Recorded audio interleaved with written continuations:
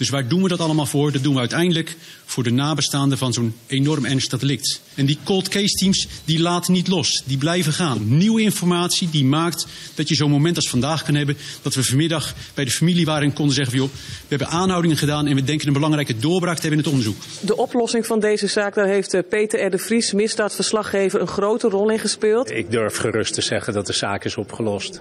Nou, ik vind het in ieder geval een hele belangrijke doorbraak en ik verwacht inderdaad dat we hem op gaan lossen.